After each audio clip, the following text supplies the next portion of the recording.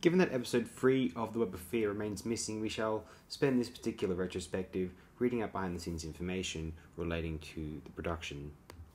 This story directly follows on from The Enemy of the World.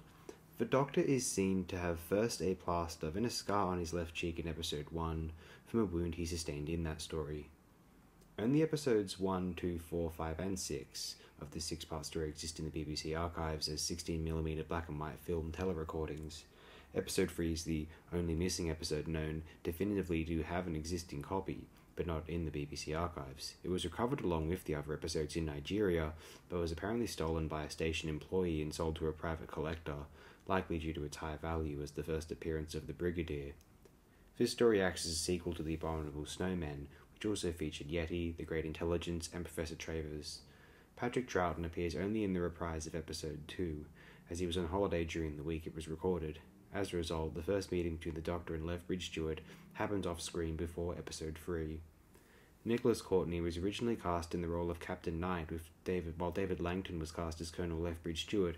However, Langton gave up the role to accept another more attractive offer of work, and so Courtney was given the role of Lethbridge Stewart, and Ralph Watson was cast as Knight.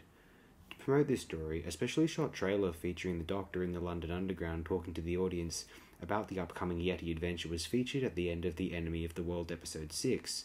The trailer was included in the BBC audio release of that story and is currently known to exist only as an audio recording. The trailer was later animated and featured on the animated release of this story. This is Peter Bryant's first story as full time producer. Desmond Cullum Jones was supposed to play a commissionaire, but the part was dropped in rewrites. It is stated that this story takes place approximately 40 years after the Abominable Snowman adventure in Tibet, which it states took place in 1935. Professor Travers is once again portrayed by Deborah Watling's father, Jack Watling. Deborah recalled that the sight of her dad in old age makeup made her blow several takes by laughing. The original plan was to film in the London Underground, specifically in Aldwych and Covent Garden stations, but London Transport demanded an exorbitant fee and indicated that filming would be restricted to just a handful of overnight hours. It was decided to recreate the London Underground on studio sets. The recreations are so realistic, the BBC apparently received a letter of complaint from London Transport, claiming filming had been done on their property without permission. The scene in Julius Silverstein's house originally took place in the Natural History Museum, but they declined permission for the BBC to film there. The closing credits for each episode, except episode 6, were rolled against an image of the pulsing web.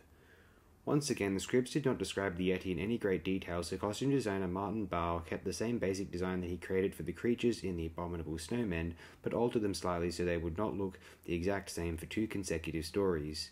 During the interview between Harold Chorley and Captain Knight in episode 1, it is mentioned that the Army Task Force's commanding officer, who has been killed in an earlier Yeti attack, was Colonel Pemberton. This was an in joke referring to former story editor Victor Pemberton, who worked with Mervyn Haisman and Henry Lincoln on The Abominable Snowman. Another in joke features in the official BBC reconstruction an animated version of episode 3, when driver Evans takes a chocolate bar from a platform vending machine. The bar's wrapper is shown to read Camfield's Fairy Milk Chocolate, a reference to director Douglas Camfield and to comply with the BBC's policy of not displaying brand name products on screen. As episode 3 has yet to be recovered, it remains unknown as to whether the wrapper was shown in detail on screen and what name it bore. Bearing in mind that the vending machine was unbranded, it is likely the wrapper was likewise. Episode 1, then the only episode of the story known to exist, was shown along with The Abominable Snowman Episode 2 as part of BSB's Doctor Who Weekend in September 1990 under the banner of The Yeti Rarities. The surviving Episode 1, at the time the only episode known to exist, was repeated on BBC 4 on the 26th of June 2004 as part of a night about cult television of the 1960s, other programs that night included a documentary about the BBC Radiophonic Workshop and an episode of Verity Lambert's series Adam Adamant Lives. Episode 1 was also repeated on BBC 4 as part of the BBC's London Underground night on the 18th of March 2007. Episodes 2 and 4 to 6 were revealed to have been returned to the BBC on, on the 11th of October 2013. The year in which the Web of Fear takes place is not directly stated in the story. The most information given on the matter is in part 2, when Edward Travers says that it has been about 40 years since he met the Doctor in 1935. A number of Doctor Who stories in other media have placed the event of the story to an exact year. The novel Who Killed Kennedy states that this story takes place in August 1966, one month after the events of the War Machines and the Faceless Ones.